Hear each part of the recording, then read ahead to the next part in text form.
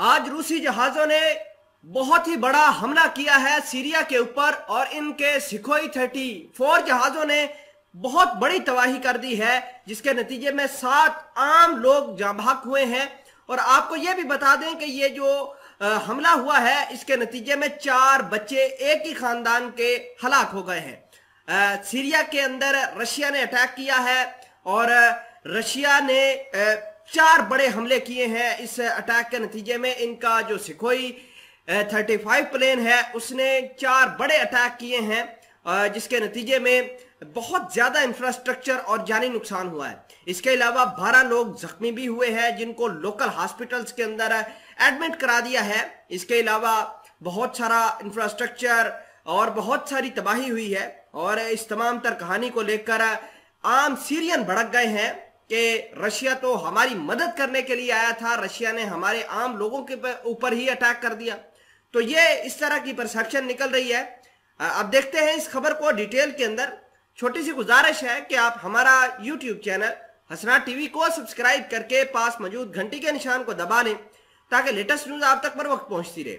सबसे पहले अल जजीरा का ये आर्टिकल देखिए, जिसके अंदर लिखा है कि seven killed in Russian air attack on Syria's Idlib नाजरीन ग्रामी ये इदलिब का इलाका है, जिसको अल जदीद के नाम से जानते हैं। वहाँ पर रिहायशी इलाकों पर अटैक किया गया है और ये तमाम तर नुकसान हुआ है।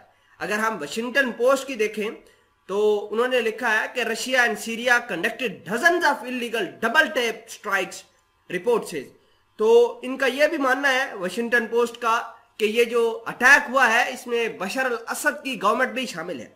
यानी आम लोग जांभाक हुए हैं और ज़्यादातर जो जांभाक हुए हैं, उनका ताल्लुक क्रिश्चियन कम्युनिटी से था और इदलिब के उन इलाकों को हिट किया गया, जहाँ पर क्रिश्चियन लोग ज़्यादा रहते हैं। नाजरीन ग्रामी अब रशिया ये कहेगा कि हमने दहशतगर्दों को हिट किया है। रशिया ये भी कहेगा कि हमने आम लोगों को हिट नहीं किया। अभी तक फ़िलहाल बयान तो नहीं आया लेकिन रशिया इसी तरह का नैरेटिव बनाएगा। लेकिन हम जो है, वो इस तरह की बात बता रहे हैं, बिल्कुल जो वाक्य हुई है, रशिया को इस तरीके के अटैक आम शहरियों के ऊपर नहीं करना चाहिए और हम इसको फुली कंडेम और मजम्मत करते हैं। खैर आपको ये बता दें कि रशिया के जो एक्सपर्ट्स हैं, दुनिया के अंदर बैठकर इस तमाम तर कहानी को देखते हैं, उनका मानना यह है कि रशिया की जो लताकिया बेस है फौजी ठिकाना उसको हो सकता है कि कहीं से थ्रेट हो और उस थ्रेट को एलिमिनेट करने के लिए इन्होंने ये कार्रवाई की है। खैर, ये कार्रवाई बिल्कुल इलीगल थी और इसमें जो लोग मारे गए हैं, उनका खामियाजा कोई नहीं भरपाई करेगा उसका।